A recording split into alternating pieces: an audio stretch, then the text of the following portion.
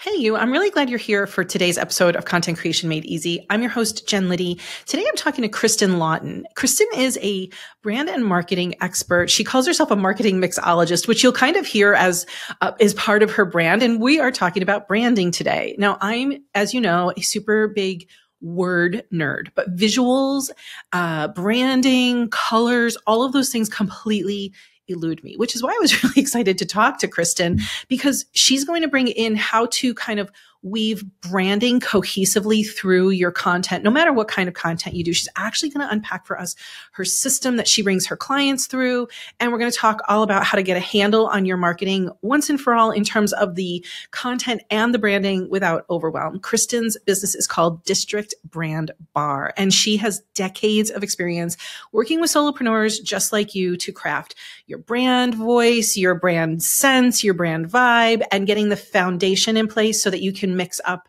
your best marketing uh, cocktail, if you if you will. Um, welcome, Kristin. Thank you for being here and for agreeing to do this. I know you had a very busy morning, so I'm really glad you're here. Oh yeah, well thank you so much. I'm I'm very excited about the conversation. I okay. love all things branding. First of all, tell us a little bit about, you know, your business and how you mm-hmm. came to be in your business. Yeah. So uh, my business is like a pandemic baby. Like I feel like a lot of people's businesses are, especially solopreneurs. Um, I did branded marketing, um, and I'm based in Washington D.C. Um, for nonprofits and small businesses and corporations and you name it uh, for 20 plus years. And I really wanted to shift. Uh, it worked out that I was let go from my job right at the start of the pandemic, COVID, such. Uh, and you know, so I started it. Um, I'm coming up on three years, and you know, I really wanted to help. I I did the led a massive rebranding project for um, my last organization. From there, I started consulting with other organizations going through rebrands, and I just loved the sort of coaching aspect of helping the small businesses, organizations, solopreneurs, whoever, sort of figure out their brand and marketing um, strategies. And then I sort of have always been very into like productivity tips and having like a really strong work life balance, finding joy in everything that you do. So I really focus on making sure that your strategies and routines are uh, efficient, effective, and effortless. Mm-hmm. And then when I started my business, I'm like, you know, I love cocktails. I love crafting cocktails. There's so many similarities between mixology and marketing. And so I have a whole brand theme, which is uh, cocktails and mixology. And so that's why I am the marketing mixologist. Okay. Question that came up while you were sharing yeah. all of that is I don't think I have a good um, definition for what brand means. Yeah. So, what the hell is brand and how is it different from or woven into marketing in general? Yeah, so I think, you know, the the way I see a brand is anything someone uh, experiences that's like external to your brand. So anything that's like front facing of your business and that you know as as someone might like go through the journey with you like they're experiencing different parts of your brand. So i think people think about like branding and brand identity as just like your logo or like your color scheme or maybe you might extend it to your website but it's really sort of like stop there. But to me your brand your brand and your brand identity like goes in well into your marketing. Um, it covers you know obviously like i think it covers your messaging um, your brand values, your brand positioning, your uh, your certainly the look and feel, but I think it also covers your who your target audience is, your um, client journey, uh, and your content pillars, and sort of it is really when you think about your brand, it's like what kind of experience are you sort of like giving to your audience, and it's all of those touch points for me. Okay, so it's it's a lot of touch points, and I think I, have definitely in my past made the mistake of like brand equals a color palette, yeah. Uh, a logo.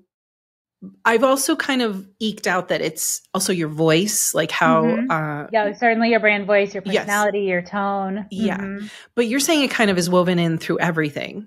So I think there's like, you know, a brand is is sort of like the step right below your business, right? Okay. It's sort of like so your business to me, I think more like when I'm thinking like business strategies, it's that internal stuff, like mm-hmm. how the wheels are moving. Okay. And then the brand is sort of everything external. Yeah. Now then your branding is sort of what helps create sort of the the assets of your brand mm-hmm. and then the marketing is how you're getting people to see your brand yeah that's really mm-hmm. clear um, what do you think are some mistakes that people make with their brand the brand piece of their marketing or their brand piece of their business I think a lot of it is that you don't think about it mm. as much, right? All right, that's fair.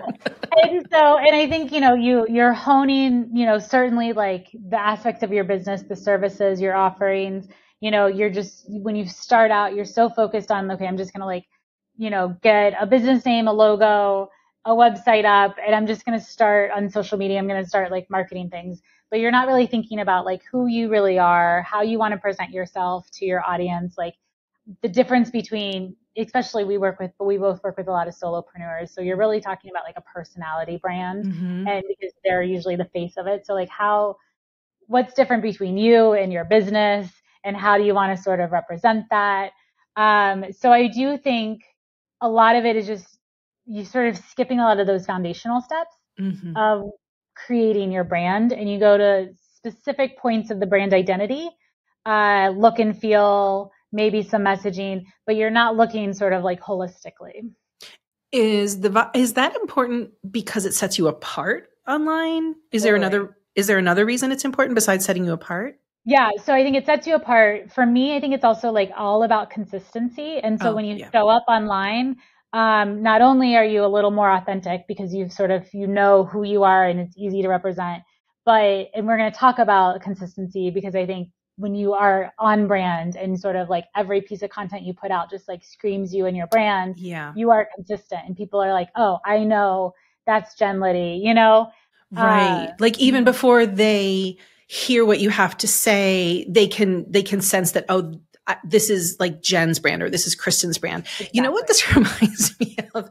When I was growing up, my mother would like, my mother was very moody when I was growing up and I never knew which mother I was going to get when I walked in the door. And. I'm like, is, do I have happy mom today? Do I have yeah. crabby mom? Do I have angry mom?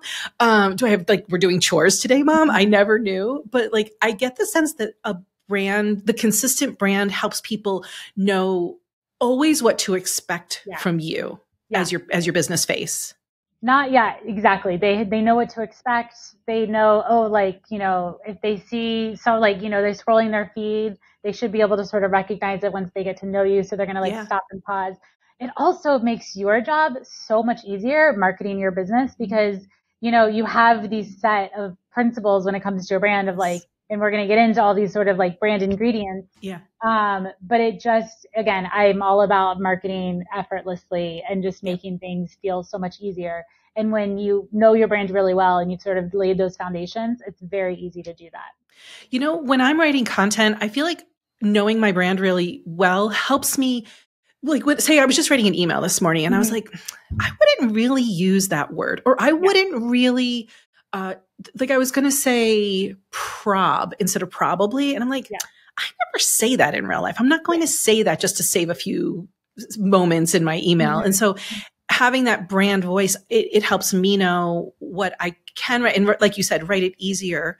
The other thing that I think it does is it kind of builds trust with your audience because like if you say something that seems completely like mm-hmm. off brand for you. Like for example, mm-hmm. oh my God, I don't know if I've told you this, but I got my Facebook ads account hacked and they oh. started oh. selling $14,000 worth of um, ads to a Jesus loves you blanket. And I was oh. like, I am not religious. I literally never talk about religion. I never talk about Jesus. Like that is not my brand at yeah. all. It's, it's right. like, and so I was kind of shocked when there were so many comments on it when like this this mm-hmm. hacker had overtaken my Facebook and I was like, don't people get like this isn't me? That's like this, this right. is not me. Yeah. got hacked. Um, so I feel like that's all really helpful stuff to know why a brand is super mm-hmm. important. So we're our biggest mistake is we're just not thinking about it. I yeah, I think so. And I think it's just, you know, you haven't put in the time and it's not a lot of time, but to just really understand it. So then you're wasting time also as, you know, at the back right. end to, as you go through the marketing. So I just think understanding your brand really well and thinking about how someone is experiencing your brand also yeah. makes marketing and creating content and everything else so much easier and yeah. effective. Okay. So today you're going to kind of break down for us your system. All right. I can't wait to hear. So by the end of it, we're going to be able to feel like we can be more consistent. We understand what branding is. We can start to take the time to implement it in our in our businesses. Yeah. Awesome. Exactly. All right. So, you know, my basically, I want to break down my sort of recipe for staying on brand. okay. And so that when you, you know, anytime you're creating a piece of content or, you know, updating your website or whatever it is, think about anything that's like an online presence for you, a lead magnet, whatnot, Mhm. you can just like quickly scan it and say, yep, I'm on brand. Okay. Uh, creating the brand is a whole different thing, and it's certainly something that I would love to help your listeners out with. Um, I walk through it in my membership, but that is sort of a different story. But we're going to walk through all the elements so you know what you need to create Okay. Sounds so good. that you can stay on brand. Yeah. So it is super simple, and essentially, I think there's like five ingredients. We're calling it ingredients because I'm all about mixology and, and crafting a cocktail. Uh, so let's say you have five different, you know, bottles on the bar. All you have to do is is a, is make sure that three of them are in your cocktail and three of them are sort of in your piece, your content, and then you're good. okay. And it's pretty simple. So I'll just tell you them really fast and then we can break them down. Sounds good. But so one is brand colors, two are design elements. So think specific fonts, imagery, graphics. Ah. Three is your brand voice, tone, personality, sort of that vibe check that like you're writing yourself. Uh, four is your content pillars. Uh, and then five is sort of your messaging, word bank. I also consider like emojis in this, but Okay. we can, but so those are the five. So if you can scroll through, look through at a piece of your content, a social media post, whatever, and say, yep, three, I have three brand elements in that piece, then like to me, you're good. It's, it's a super simple, just like Checklist almost. say like, okay, this piece is on brand. I'm consistent with my audience. All right. So break break the first one down for us. So brand colors. Okay. Um, and so this is something, you know, we usually pick out our brand colors like right at the beginning. So true. uh, when you do your logo. Uh, I will say your brand colors are allowed to evolve. Uh, I like to have three main colors and like two accent colors. okay. Um, you should pick something that pick colors that you enjoy because you're going to be creating content. You are the one looking at this all of the time. People are going to see your content, you know, maybe a tenth of your content. Sometimes it's even like 3% of your content. Right. So don't focus when you're creating your colors, you're coming up with your colors. Like think about colors you like that you will be happy designing with. Maybe go in your closet, see what colors you wear most often, what pieces of jewelry you're like drawn to. I picked my brand colors. They're like orange and red based on my two favorite cocktails, which is a Negroni and an Aperol Spritz. Uh, an Aperol Spritz is what I consider my like my business's cocktail. Uh, and so, you know, I picked those, but then I add in a couple other like fun colors like blue and green that sort of like, you know, Compliment. complement and sort Mhm. of think about like I like thinking about making people's life easier when it comes to marketing and so that they can enjoy vacations they can have the mojito that's Fun. the green they can be outside the blue you know so you have your idea of your colors Okay. but those are sort of the colors but i'd say like stay consistent don't you know add in too many colors if you just you know i think colors is an easy way to create a cohesive brand It's I- I think from when I used to work with beginner entrepreneurs, it is also a place where they can spend a lot of time and get distracted and do that procrastination thing Yeah. where they're just like, "Oh, I just need and my colors need to be perfect before I can move on." So it's a place for you to Mm. waste a lot of time, I think. A hundred percent. And this is where, you know, like I, I'm a quick, dis- like I'm a quick Mhm. decision maker. And so I was just like, boom, those are the colors. Um, but you know, but then I, they've evolved, right? So like I went with a brighter red over time, or I've added in the, like the blue and the green, I've added in like a lighter yellow. Um, so anything with branding can evolve. Now you don't want to just like every other month totally switch things up right? Because then right. you are definitely not staying consistent and having this cohesive brand that we want. But if over time you realize, you know what, it would be really nice to have this type of accent color on my website or to be able to play with a different color in Canva, add that in, stay consistent with it. But yes, anything that you do, just like, yeah, always just, just launch. Those things can work themselves out because no matter what, like when you launch, I trust, trust me, your business is going to change and evolve within the first 100%. year to 100%. 100%. So nothing needs to be like set in stone at the beginning. Right. so then what's the next thing after that? So design elements. Okay.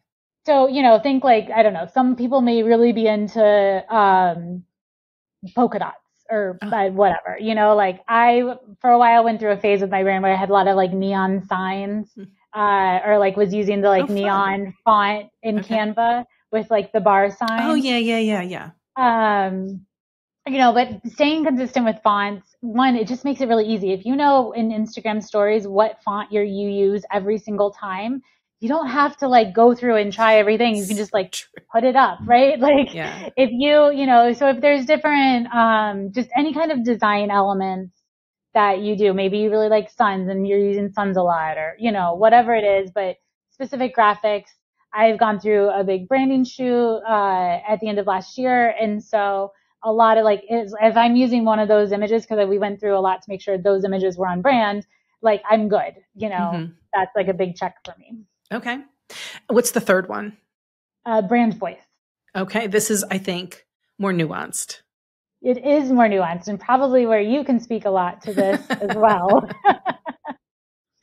but I think, you know, so my easy check for like knowing your brand voice, well, my old one was to uh, open up Grammarly and type in, you know, a piece in Grammarly and it will tell you what your tone of voice is. Interesting my new trick is to go into ChatGPT okay. and put in a really, you know, maybe it's like the first email of your welcome series or your lead magnet or something that you, you feel like just really is like well written to your brand, your voice, and ask it, what is my brand voice? Like, what vibe am I mm. giving off? Uh, what's the tone? And it will tell you what it is. Because um, sometimes we don't know. We think we're friendly, we think we're relatable or empathetic or cheerful or professional, and then mm-hmm. you really need to like have a sense of what it is. And I love using those tools because once you know, like specifically what Grammarly says your tone is, then every time if you have the Grammarly extension, you know, when you write the piece of content, you can just check, is my tone in there? And you're like, okay, I'm good. I'm on brand. I literally never thought about using AI for this, although I know it's a huge thing that people are talking mm-hmm. about. Um, I don't, I, I think that people get confused between using an AI tool as like, oh, this is going to reduce my voice rather than asking it to define my voice or express, or not express, but like reflect my voice right. back to me. Yeah. Really. So if you can just make that tweak in your head, like mm-hmm. it's not mm-hmm. going to take away your voice. It's actually mm-hmm. can reflect it for you.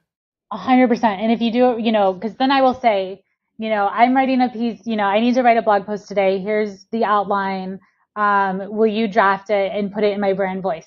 Here's what you said uh, my brand voice is. And I literally copy in what it told me my brand voice is, the paragraph it gave me. And certainly there's tweaking, right? Because I will ask it to put in like mixology terms and mm-hmm. it will just like load it in. and I was like, okay, that does not sound like me. Everyone will be like, someone else wrote that for you. Uh-huh. Um, but it gives you that, you know, it, it certainly is, it's a shortcut that I am loving these days to just. That's a really cool suggestion. Thank you for mm-hmm. getting specific on that. Yeah. So after, uh, and and you're not saying these are in any particular order, or are oh, they no, in order? Definitely okay. Not. Okay. It was okay. just how I wrote them on my notes for you. Beautiful. So we're focused no, on really our, you on five. our mm-hmm. voice, mm-hmm. our um, uh, the elements, whether that's our font, design elements. Yeah. Yes, design elements, and then colors. Yes. Okay, so those are the first three. What's next? So next are your main content pillars. Oh yes, um, my favorite. Uh, yes, I know you talk about content pillars too. Um, so the way that I teach is I think mm-hmm. you have like three main content pillars and then two sort of um, more fun ones or things that you sort of will talk about on occasion or maybe like cocktails is one for me. Oh yeah. Um, so for those, I think it's like much more your main. Like people know that I'm going to talk about branding, they're going to talk about marketing, and I'm going to be talking about like systems and routines to make all mm-hmm. of that more effortless.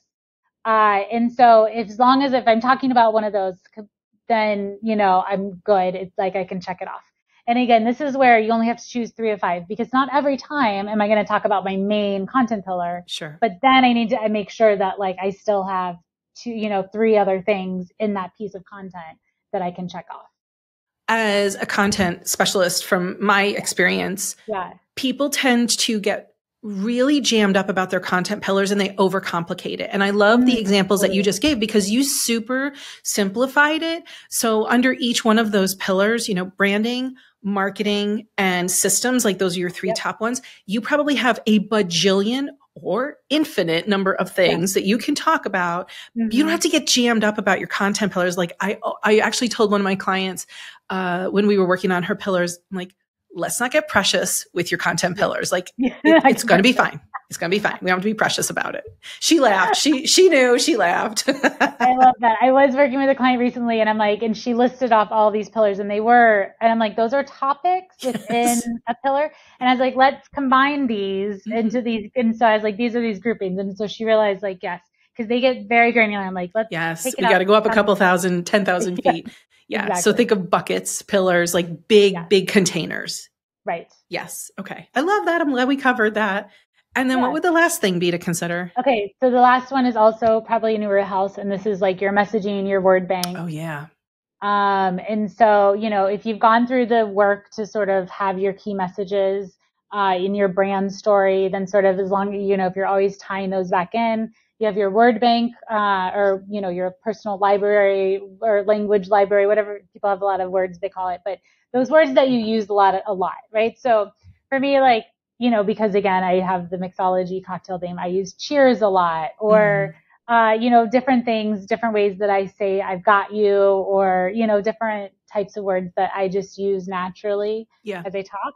And then I also think that everyone has like three emojis that they use regularly in their business or that they should have like three if you're, you know, if you like the, if you are someone that um, has a brand voice that is less professional tone uh, and more in the like friendly casual yeah. tone like me i think you know using a well placed emoji is great uh, but so consider what like your brand emojis are and so you can use those too. i think one of my brand emojis is the eye roll emoji it's my number one emoji every time i go to use emojis it's right there question about messaging um, and your word bank.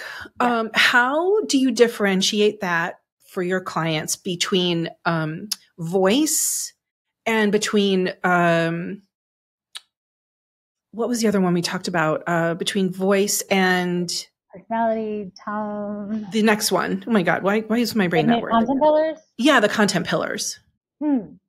So, um, so when I think about messaging, when I work with my clients on messaging, we're we're really working on their full brand story and a lot of it is around the stages of awareness mm-hmm. so mm-hmm. you're defining what the problem is you know the solution that you're solving for them um, why you're the right person to do this what mm-hmm. the transformation is um, and sort of giving them their like you know general like i help statement their unique positioning and so we have crafted uh, like true key messages that you can just like plug and play that then we're putting in your brand voice.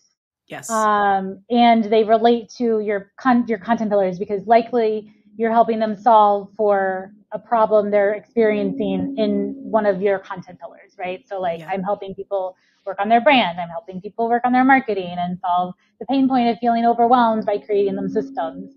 Um, and so, and I think the word bank goes back to the brand voice a little bit, but it, but not every time are you going to copy in a key message or pull from a key message.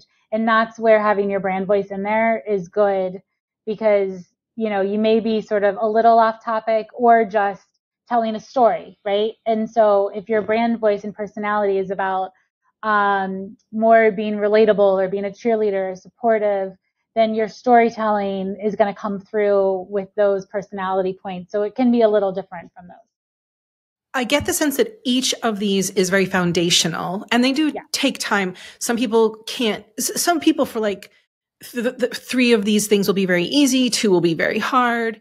Um, but I want people to walk away from today feeling like if you're struggling with these, mm-hmm. like you don't have to struggle by yourself. I think you've outlined the basics for what people need to be thinking about. And I love how you differentiated the mark, the, the messaging piece from content pillars and voice, because that message is like, that is like the baked in goodness. And if your message is not clear, it just like makes everything else very messy. Yes.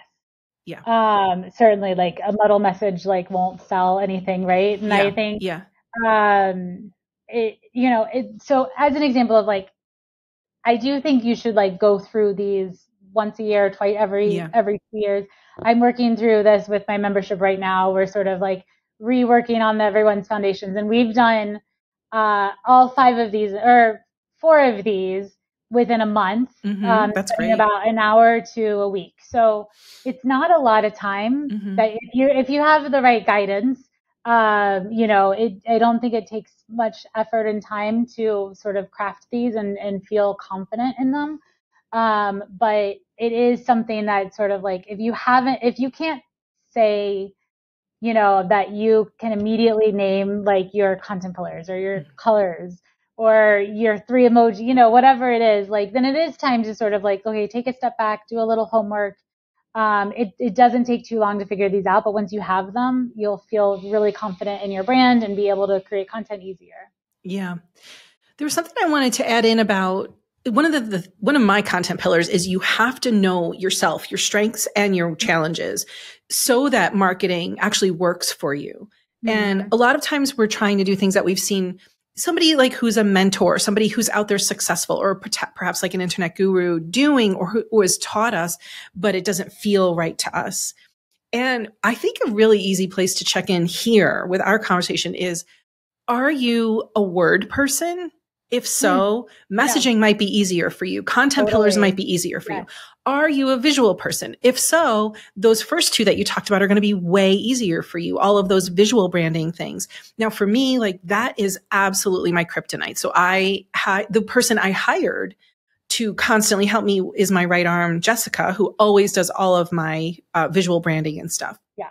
But if I had to do that by myself, and mm-hmm. even when I do do that by myself, so even when like she's created something for me and I mess with it a little bit, she, I don't know how she hasn't killed me yet, but like she kind of is like, oh my God, I have to fix yeah. this.